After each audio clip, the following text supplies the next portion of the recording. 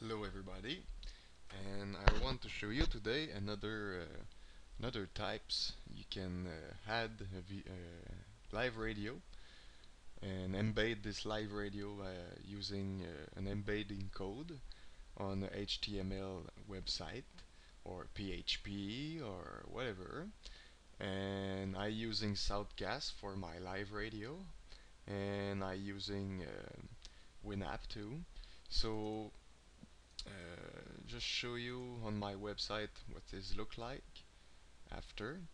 It's look like this does live radio and uh, it's streaming my my radio live over here. You have a couple players you can use uh, Windows Media Player, QuickTime, Real Player, Flash Player and another application for the live radio in uh, LAN, in my LAN and um, here I have a couple playlists. This is the same playlist. It's only different extension uh, using PLS for QuickTime and Real Player and uh, M3U for Windows Media Player streaming. And uh, basically this is the same code here I using for uh, my Windows Media Player. And QuickTime it's another code. Uh, it's another code for Windows Media Player. Uh, no sorry QuickTime Player.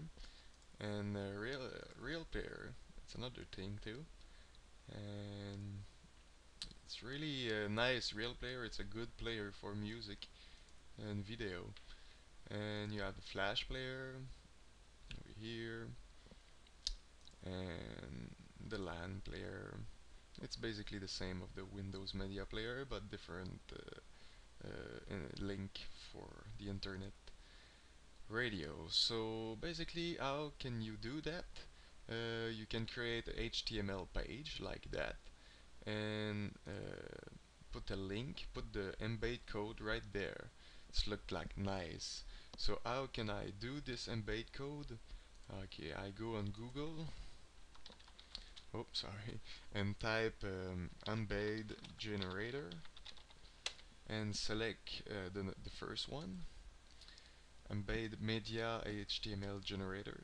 So here you have four different things you can uh, select. So use Windows Media Player first. And uh, here I just write my server name to radio.web.net uh, I write this one because um, it's uh, the, the one I use but if you have another one you can use uh, your LAN IP here. Uh, example this or whatever if if you have a, a D-Link router or a Linksys router you can uh, just type your IP over here. Or like me I type radio.web.net it's my DNS name and use your port over here and make sure it's the good port. And after that um, you have the file path over here. You stay empty this boxy. And the dimension you can use uh, the dimension over here like you want.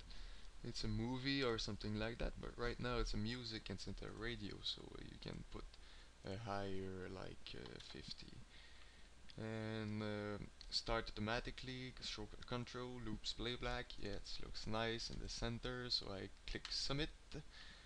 And this is give me the the code for the embed radio. So I copy that. And uh, I open this in Notepad. Over here and paste the code the entire code. So basically it's simple you have um, your link over here with your port. You have another one over here with your port 2 and you have another one here with your port. So uh, if I say port I say like this because um, sometimes it's uh, it's different. You can put this port over here. Me I do another thing. So you save that uh, you save this code it's the HTML page so you put in the whole file over here and save I like HTML file so radio.html and put that on my desktop. So I double click on it to see what this look like. Oh it's look like that. There we go. So it's uh, embedding my radio it's very nice. So uh, yeah it's not easy. It's uh, it's it's easy. It's not uh, hard to do and uh, uh, it's only that code embedding in the live radio. So after you make sure all the port on your computer on your computer in the firewall it's open and all the firewalls in your router it's open uh, example 8000 and uh, in your firewall the same thing. Uh, you make sure all is okay and you are able to stream on the internet uh, on the internet for worldwide uh, radio live like me. So if you have other comments if you want uh, give me some ID to do some video about a computer and network uh, leave me comments on this video and I'll give you a follow-up soon as I can. Thank you. Have a nice day. Bye bye.